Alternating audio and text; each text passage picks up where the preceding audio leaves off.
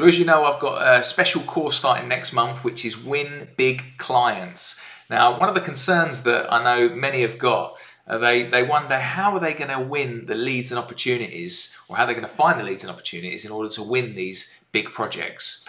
Now, part of this course, we're going for projects that are valued between 200k and a million pounds.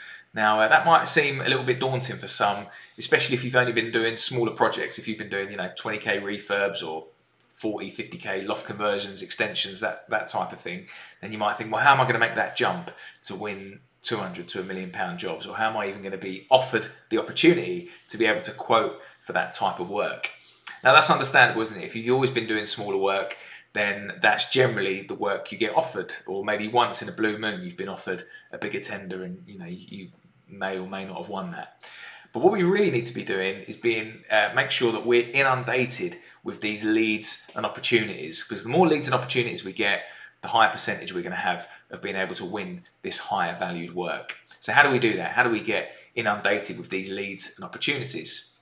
Well, there's two methods that we need to uh, enact. The first one is we need to be reactive uh, and be able to be able to react to the work that's coming in. So when we're reactive, we've positioned ourselves in the right way. I'm going to show you everything you need to do on the back end in order to be attractive to architects and clients so that they can send you these tenders and opportunities. It's only when they believe that you can and you're credible enough to be able to take on this work that you'll start receiving these tenders in regularly. So that's that's reactively receiving lots of leads and opportunities.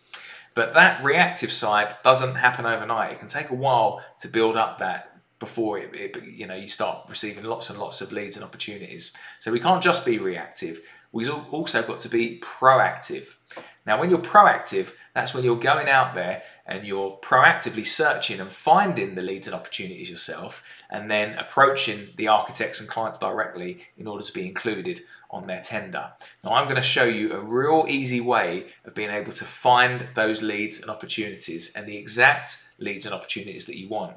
So, if, for example, as we said earlier, the example, if you're doing loft conversions and extensions and you want to find £200,000 lofts and extensions and refurbs, in your area. I'll show you exactly where to find them and how to approach those architects and clients so that you can get on that tender list.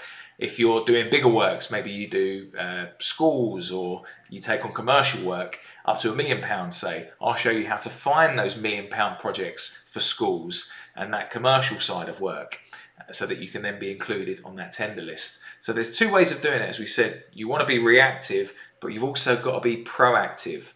Now, when you master those two things, that's when you're going to be inundated with leads and opportunities. You'll, have leads coming out of your ears, and that's exactly what we want. But but not just any leads. We need to find the leads that suit you, that are just suitable for your specialist niche. So I'll show you how to do that, and that's a big big component of this course is how to be inundated with leads and opportunities.